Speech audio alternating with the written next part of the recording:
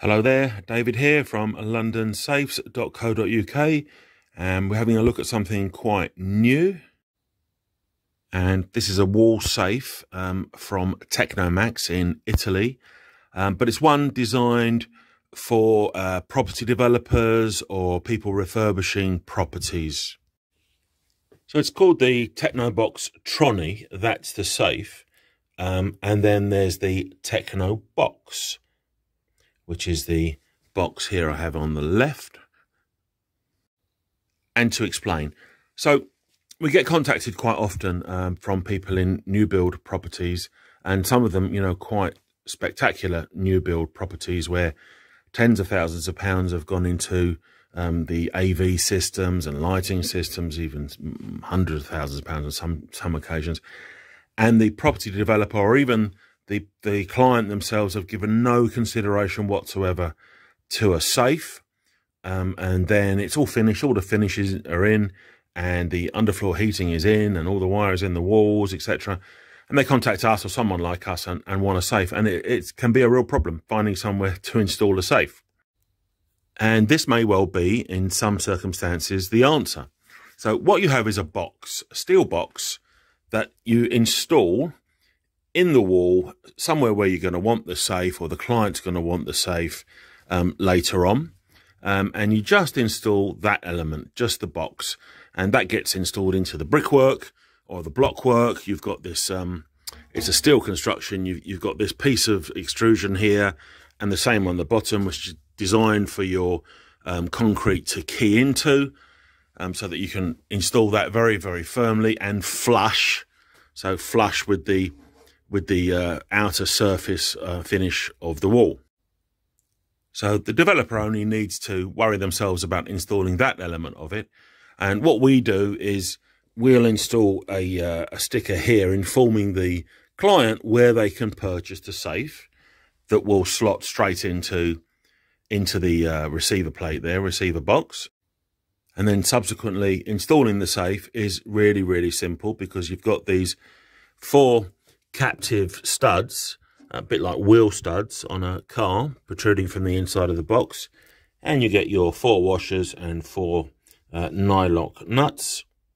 And I'll just turn the actual safe around a sec. So that's the side view. And there you see corresponding four holes in the back of a safe. So it's just a case of sliding the safe into the box. Um, and then with the safe door open, you then put your washer and a nut on each stud tighten them up uh, with a socket set and your safe is installed. So just to demonstrate, I've inserted the safe partially into the box and, I'm going to push it back in. And that's now the safe slid all the way into the box. As you can see, it sits just uh, a little bit deeper than flush. So as this is going to be a wall safe and the whole thing's going to be embedded in the wall, um, then the typical thing is to hang up a picture over the front of it so you don't see it at all. As I've done here, and as we remove that, that will reveal your safe. So Technomax actually make this unit in two sizes, and we've decided that it, we're only going to keep the larger of the two. If you're going to be putting a safe in a wall, you may as well put the largest that you can.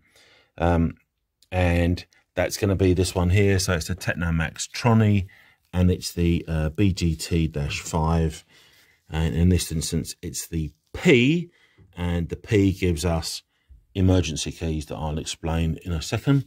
But your dimensions are the external dimensions are 340 millimeters high by 460 millimeters wide and 197 millimeters deep. And your internal dimensions 315 high 435 wide 147 deep and you've got a, uh, a weight of 25 kilograms and internal capacity um, quite generous 21 liters. We'll look at that in a sec. No box um, is and it's the larger one so it's the box 5 347 high 466 wide and 202 millimeters deep. So your depth is 202 millimeters from here to here. Oh i'll do that again.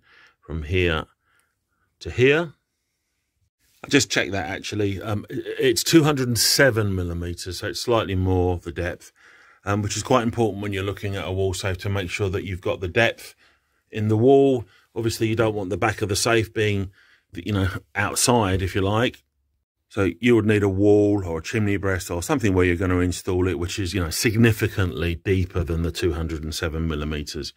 You know, double ideally, um, unusual to find that kind of wall thickness in the UK. But like I say, if it's something that you're, you know, you're developing a property or, or um, building a property or making some refurbishments, then you might be able to allow somewhere for this, you know, make a wall in a certain area that's a bit thicker to accommodate your, your hidden safe. So the safe itself, I've got it tipping back a bit here because uh, because of the nature of it, the door's quite heavy. So as I open it, it wants to tip forward. I've had to put a bit of scrap wood underneath just so that I can demonstrate it to you. But this is the same type of construction as our Bloomsbury unit, um, which uh, you may have seen. And um, I'll link to that video now, top right-hand corner, um, which give you a bit more idea about the the nature, the construction of it. But essentially what you've got is a 10 millimeter slab of solid steel, which is which forms your your front of your safe. And this is cut out with a laser and they use a very fine laser technique um, so that you're it's a one piece for the door. And that means that this is a very narrow gap. I can barely get my fingernail in. So any burglar trying to, you know, bang a wedge or something in there is not going to be successful. There just isn't the gap has battery operated with a six digit code to open it. And I mentioned the emergency keys. There's the emergency keys and that's the emergency keyhole. So you just peel that away um, and that reveals the keyhole. I'll do that now. That reveals the keyhole. And you do get a couple of spares of those there. E for emergency. Your two keys and your key goes in. And if you know if you've forgotten your code, then you can, or the battery's flat, you can open the uh, the safe using the key. And there's another way of powering it. So if your battery does go flat, you've got these two metallic terminals on the outside marked minus and plus, and you can just hold like a 9 volt battery against there, open the safe, and then replace your batteries on the inside. Opening the safe as it stands, it's locked, so that's just not going to open. We hit on the factory code, which is six ones, and then enter, and you should hear a little click. That's the solenoid that's gone. And while that OK light is illuminated, I can turn the knob and now the safe's open. Hopefully it won't fall on me. It's a bit awkward because, as I say, I've got it leaning forward on a piece of wood. Once it's in the wall, it would be effortless to open it. And that's the safe now open. And the batteries live in that little door there. So you have a, uh, a shelf in there. Here's the studs that I was referring to. So now they've gone through the holes. Let me just turn the flash on one sec. Yeah, so there's the four studs um, that you'll just do your washer and your nyloc. So slide one over and then you would then do that up with a socket set and the safe's installed. You've got a shelf which is removable if you don't want it in there. That can be removed. Just stow it down the bottom like that. And I've put it back now just to show you kind of things you can get into the safe. That's a sort of typical luxury watch box which will fit in the safe, but you're going to do a slight maneuver to do that. And in fact, I'll just put it in front of the stud. You, would probably get four of those in there if um, watches are your thing and you still have a little bit of room. Again, with the shelf removed, you would get one of our uh, fire retardant uh, document bags in here. And there will be a link in a second to explain what that is. Looking at the door, here you can see that 10 millimeter slab of steel. Then you've got your revolving locking points. There's three down the side. You've also got one at the top, one at the bottom, and you've got a, um, a, welded reinforced receiving plate for the bolts, so on three sides. So it's very, very strong. Bear in mind, the rest of your strength from the safe is coming from your concrete that you're going to surround it with. Uh, we have got a video on our website that um, shows you uh, some tips on installing it. Uh, these are a fabulous quality product. Um, as I've mentioned in other videos, I've been to the factory and met um, the founder of the company, and it's really state of the art. It's an amazing place uh, in Italy to see. Insurance rating wise, this is going to give you uh, a rating of £4,000 in cash or a multiple of 10 for your valuables, so up to £40,000 worth of valuables. So um, we don't install wall safes or even this type of uh, box device, you know, it's going to be down to your, your builder to install the box and then, you know, the homeowner or handyman can just install the safe. You've seen how easy it is just to slide it in there. And um, if you want one of these, these are available on our website, uh, which is uh, londonsafes.co.uk. Um, well, if they're not available immediately, they will be very, very soon. Otherwise, um, just get in touch. Um, and you can buy the the two as a set, or you can buy the, the box to install now and then buy the safe at a later date. Uh, I think it's an absolute genius idea. Uh, you'll have seen a couple of times during this video, I've put my WhatsApp number up so that you can get in touch. I've just put it up now. Um, that, so that's my own personal WhatsApp number. Um, send me a message. Uh, I'm happy to answer any questions about anything safe related that you um, might want to ask. Um, it's not really for calls. If you want to call, it's sort of office hours and it's on 0208 445 0001. Otherwise, messages on the WhatsApp are um, no problem at all.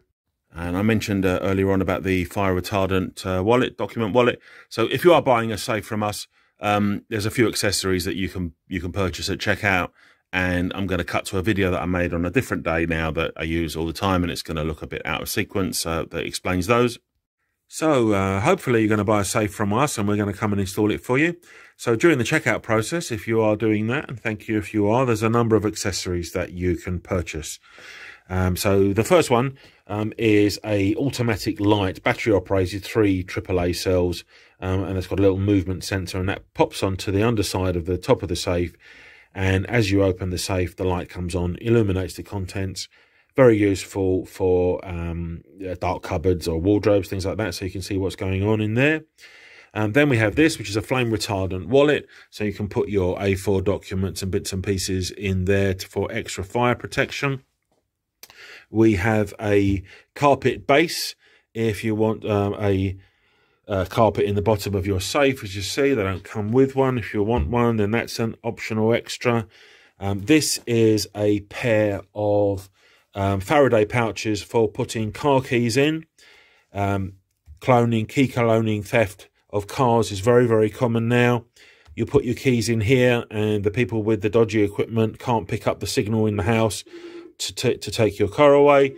And finally, we have this um, uh, dehumidifier box, um, which you can put inside the safe. It's reusable. You can dry it out on a radiator, absorbs moisture, um, protects things from uh, condensation because you can get condensation form inside um, a big steel box like that. Also useful for keeping firearms dry as well. Um, and these are all recommended accessories for your safe that are available at checkout so yeah, if you want one of these, go on the website, order it. We'll send it to you. It'll be on a courier. Um, I'm not sure which one. It depends. Uh, often it's UPS. Uh, thank you very much for watching.